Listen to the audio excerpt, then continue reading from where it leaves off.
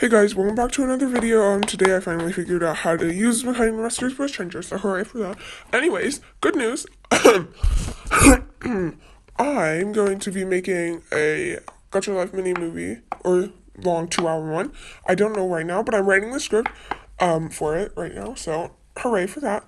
Bad news, I'm going to be uploading way less than I already was, um, because I decided, I finally decided on what I wanted to do, and also I got my phone taken away, so I've not been able to upload as much and as frequently as I had been before, so yeah, sorry about that, but, but, um, I've been thinking about this, doing this for a while, so hooray for that.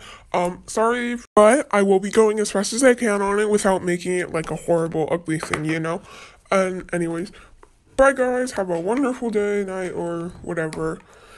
I'm sorry, I can't really remember anything. But, uh, see you guys next time. Bye!